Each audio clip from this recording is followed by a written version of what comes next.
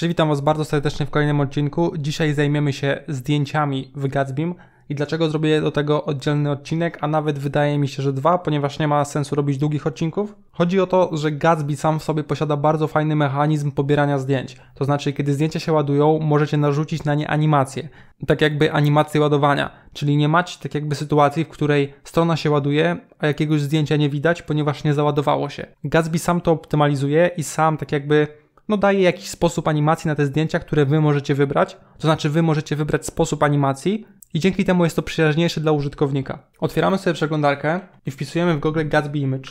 Następnie wklikamy pierwszy link, no i tutaj mamy całą dokumentację odnośnie Gatsby Image. Natomiast w takim dużym skrócie musimy sobie zainstalować te dwa pluginy. Gatsby Transformer Sharp i Gatsby Plugin Sharp. Ja już to robię i tutaj instaluję, tylko oczywiście wyłączę sobie ten lokalny podgląd, no i lecimy. Następnie oczywiście musimy sobie te pluginy tutaj dodać, czyli tutaj to odkomentuję, ponieważ już to tutaj miałem, natomiast wracamy sobie do specyfikacji, no i ten plugin Sharp też tutaj musimy skopiować, a on w ogóle tutaj jest, sorry. Także jego też tutaj zostawiamy. To się instaluje, a ja przechodzę dalej. Żeby to działało, to oczywiście musicie mieć wcześniej skonfigurowanego GraphQL-a i plugin Gatsby Source File System, żeby ten GraphQL wiedział, skąd pobierać te zdjęcia. My sobie zrobiliśmy to w poprzedniej lekcji, czyli generalnie podłączyliśmy sobie folder images do naszego GraphQL. Następnie musimy zainstalować Gatsby Image, czyli w momencie, kiedy zainstalowały się nam te dwa poprzednie pluginy, my instalujemy Gatsby Image, czyli npm install Gatsby Image. To też możemy dołączyć, natomiast z tego co kojarzę chyba nie jest to wymagane, ale na wszelki wypadek tutaj uwzględnimy to. To się już zainstalowało. No i dalej, co mówi nam specyfikacja? musimy sobie przejść do kodu i stworzyć jakiś komponent. Nazwijmy ten komponent, przejdźmy do atomów w ogóle i tutaj nazwijmy folder po prostu image. Następnie ten komponent też nazwijmy image.js. Ja robię to w ten sposób, następnie tutaj tworzę funkcję strzałkową i tutaj będzie nasze zdjęcie. Ten komponent od razu sobie wyeksportujmy, czyli mamy export default image i uwzględnijmy go sobie na przykład na stronie głównej, czyli index.js i tutaj przechodzimy do image. Ok, na tym etapie możemy już włączyć podgląd, czyli npm run develop. I teraz tak, w naszym komponencie importujemy sobie te dwie rzeczy, czyli import GraphQL from Gatsby i import img. Przechodzę do image, no i importuję te dwie rzeczy. Na ten moment nie wiecie, jak popierać tak jakby dane z GraphQLa w waszym kodzie. Robimy to na dwa sposoby, to znaczy można robić to na dwa sposoby. Pierwszy z nich to po prostu tutaj w ten sposób importujecie sobie GraphQLa no i piszecie tutaj zapytanie, czyli export const query GraphQL. Następnie w środku podajecie całe zapytanie, a potem w parametrze waszego komponentu destrukturyzujecie sobie data, no i to data to są właśnie te wasze dane. Drugi sposób importowania danych to useStaticQuery. Przejdźmy sobie tutaj. No i jak widzicie mamy coś takiego jak useStaticQuery. My na ten moment użyjemy sobie useStaticQuery, także mogę skopiować tą linijkę. Przechodzę tutaj, no i wklejam zamiast tego wcześniej. Use Static Query tak naprawdę jest hookiem, także no o hookach już coś wiecie, także mniej więcej możecie się domyślać jak będziemy to wywoływać. Tak naprawdę jest tutaj pokazane, więc ja to skopiuję i tutaj wkleję. I teraz tak, to zapytanie jest złe, ponieważ no my nie chcemy takiego zapytania, tylko my chcemy inne. Tak więc przechodzimy do GraphQL, no i tutaj mamy to nasze całe zapytanie.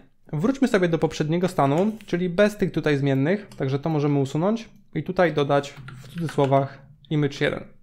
Jak widzicie, zwraca nam to ID oraz name. Natomiast, żeby były animacje, to my nie możemy tego tak zrobić. Skopiuję to sobie, a następnie odświeżę całą tą stronę. Jak widzicie, po zainstalowaniu pluginu dołączyło nam się coś takiego jak All Image Sharp. I tak jakby to coś pozwala nam pobierać te zdjęcia i od razu dodawać informację, że chcemy to pobrać z animacją. Natomiast my chcemy pobrać jeden plik, także najpierw odwołujemy się do file, następnie do Chilled Image Sharp, ponieważ chcemy pobrać coś z animacją, no i tutaj mamy dwie opcje. Albo fixed, albo fluid.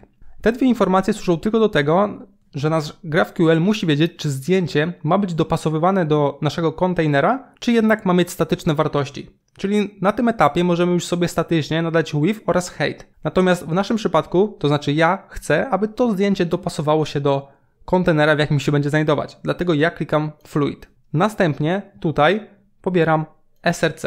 No i tak naprawdę w ten sposób pobieracie zdjęcie, ale jeszcze bez animacji. To natomiast to zdjęcie oczywiście pobierze się z odpowiednimi wartościami do waszego kontenera. Przechodzimy sobie do Gatsby Image, to znaczy do tej strony, gdzie mamy ten plugin Gatsby Image i lecimy sobie gdzieś tutaj w dół. O, i mamy coś takiego jak fragmenty. No i te fragmenty to są właśnie te animacje. Czyli tutaj, jak widzicie, jest sporo tych animacji.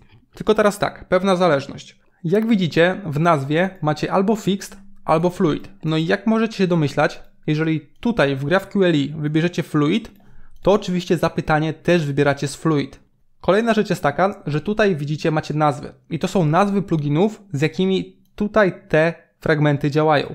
Czyli w naszym przypadku wykorzystujemy sobie Gatsby Transformer Sharp. No to użyjemy tych animacji. Natomiast jest taka sytuacja, że możecie korzystać z Dato CMS-a lub w ogóle z jakiegokolwiek handle z CMS-a. No i stamtąd też możecie pobierać zdjęcia. I wtedy wyciągacie te animacje. To znaczy wiecie, te są do Contentful, te są do Dato CMS-a, no i tutaj są jeszcze do Sanity, nawet nie wiem co to jest, ale też jakieś animacje, zdjęcia. My natomiast korzystamy z Gatsby Transformer Sharp. W naszym przypadku będzie to Fluid, no i bardzo fajna animacja, z której ja korzystam, to jest Trayset SVG. Ja to kopiuję i teraz tak, kiedyś było coś takiego, że nie można było zobaczyć tego podglądu. W sensie wklejaliście to i nie widzieliście podglądu, widzieliście błąd. Teraz jest tak samo. Natomiast tak i tak wywoływało się to z trzema kropkami. Jak widzicie, teraz działa, natomiast kiedyś tutaj wyrzuciłoby Wam błąd. Tak jakby ten cały ciąg znaków to jest, można powiedzieć, e, ta animacja, załóżmy. No i teraz kopiujemy całe to zapytanie, przechodzimy do kodu i wklejamy tutaj. Oczywiście pamiętajcie o odpowiednich nazwach, ponieważ zapytania nie mogą się powtórzyć w Waszym projekcie. Także tutaj dajemy na przykład get image. Teraz bardzo ważna rzecz. Tak jakby pamiętajcie o tym, że uwzględniliśmy sobie fluid, czyli nasze zdjęcie musi dopasować się do kontenera, w którym się będzie znajdować. Nasz kontener nie ma styli, więc musimy sobie te style zaimportować, także import state from state components. No i w tym momencie stwórzmy sobie taki styl, czyli na przykład const state wrapper. No i tutaj niech width będzie na 400 pikseli i height na, nie wiem, 600 pikseli, żeby to zdjęcie było troszeczkę, no żeby było prostokątem po prostu. Następnie tutaj dajemy state wrapper i tutaj state wrapper. Teraz musimy wywołać to nasze IMG, ponieważ żeby animacja działała, musimy użyć tego pluginu Gatsby Image. Natomiast w normalnej sytuacji możecie tutaj sobie zwrócić src i po prostu wkleić to src do tagu image. Wtedy nie będziecie potrzebować, w sumie wtedy też nie użyjecie tej animacji. Także teraz odwołujemy się tutaj, następnie dajemy img. No i ten komponent może przyjąć dwa propsy. Pierwszy z nich to fluid albo fixed. No i oczywiście tak samo to działa jak w poprzednim przypadku, czyli jeżeli tutaj macie fluid, to wybieracie fluid.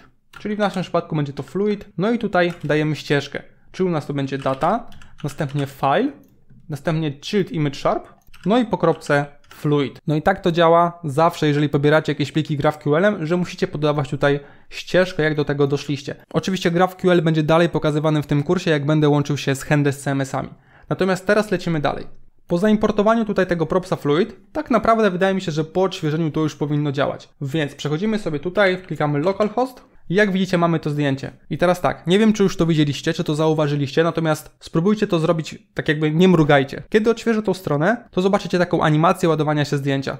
Mam nadzieję, że było ją widać. Będę odświeżał jakiś czas jeszcze, natomiast myślę, że jest ona widoczna. No i teraz zobaczmy na przykład, jak to będzie działać z inną animacją, czyli z Gatsby No Base 64. Wracamy do localhosta, odświeżamy. No i jak widzicie, ta animacja już jest inna. Ona po prostu działa jak takie opacity, tak to możemy nazwać. Natomiast Traced SVG, czyli ta animacja, działa po prostu jak pokazywanie się takich pojedynczych pikseli w waszym zdjęciu.